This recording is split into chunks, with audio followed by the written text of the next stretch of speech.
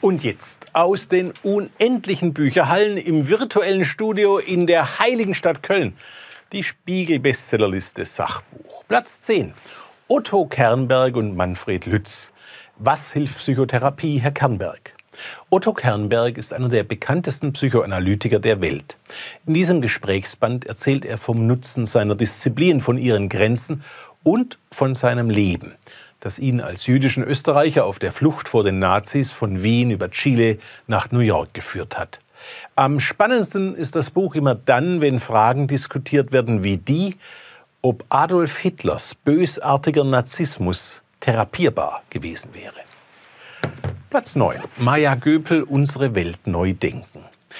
Dass der Kapitalismus den Kommunismus besiegt hat, ist kein Grund, das Nachdenken über unser Wirtschaftssystem einzustellen.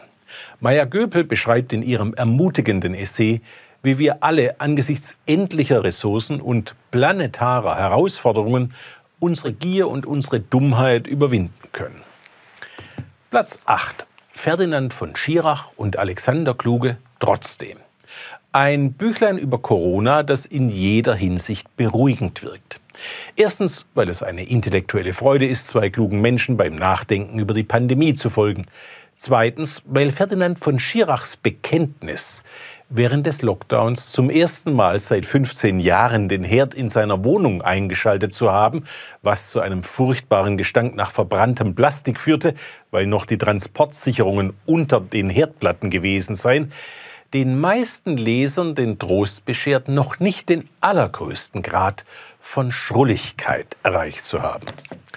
Platz 7. Richard David Brecht. Künstliche Intelligenz und der Sinn des Lebens. Eine dringend nötige und höchst beachtenswerte Warnung vor Anwendungen der künstlichen Intelligenz im Militär und an der Börse, im Alltag und in der Arbeitswelt und vor der politischen Entmündigung durch Programmierer und ihre Finanziers. Platz 6. Marianne Koch. Unser erstaunliches Immunsystem ein Gesundheitsratgeber aus der Feder der Ärztin, des Filmstars und der Fernsehmoderatorin Marianne Koch. Die Lektüre blieb ohne Nebenwirkungen. Platz 5. Philippa Perry. Das Buch, von dem du dir wünschst, deine Eltern hätten es gelesen. Ein Erziehungsratgeber mit vielen beherzigenswerten Ratschlägen. Was Kinder und wir alle brauchen, sind Liebe und Grenzen. Nicht nur das eine oder das andere, schreibt Philippa Perry. Allerdings fehlt der wichtigste Ratschlag über Kinder, nämlich die Einsicht der unvergessenen Katharina Rutschki. Kinder sind ein sehr schlechter Hundeersatz. Platz 4. Hamed Abdel Samad aus Liebe zu Deutschland ein sympathisches Buch der Selbstvergewisserung. Hamed Abdel Samad möchte im Gespräch mit Historikern, Politikern und Publizisten herausfinden, was Deutschland wirklich ausmacht, was Deutschsein bedeutet und was Deutschland über die Zeitläufe hinweg im Innersten zusammenhält. Mein Verdacht ist allerdings, dass er durch ein gründliches Studium des Gesamtwerks von Loriot mehr darüber erfahren hätte.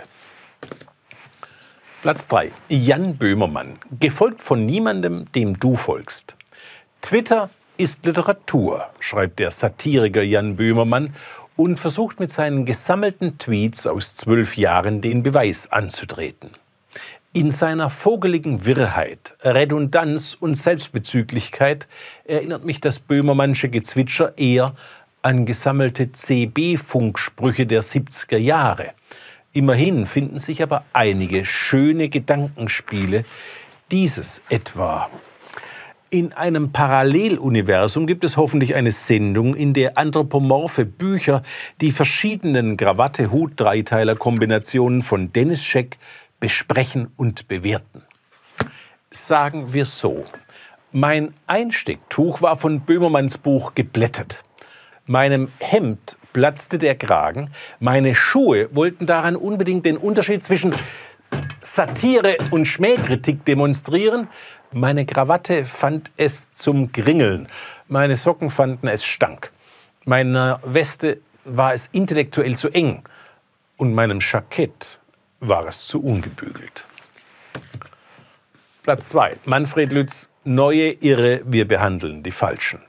Der Psychiater und Theologe Manfred Lütz nimmt psychisch Kranke davor in Schutz, mit politischen Irren wie Jair Bolsonaro, Kim Jong-un oder Donald Trump gleichgesetzt zu werden. Selten wurde mit leichterer Hand über Demenz, Sucht, Schizophrenie, Angst, Ess- und bipolare Störungen, Trauma, Manie und Depression geschrieben. Platz 1. Mary L. Trump. Zu viel und nie genug. Mary Trump ist die Nichte des Manns im Weißen Haus. Ihr Vater war der alkoholkranke ältere Bruder Donald Trumps, den der Vater Fred Trump immer mies behandelt hat, während er Donald in jeder Hinsicht bevorzugte. Mary Trump, selbst promovierte klinische Psychologin, zögert nicht, ihrem Onkel im Weißen Haus eine ungünstige Ferndiagnose zu stellen. Dieser sei ein soziopathischer Narzisst.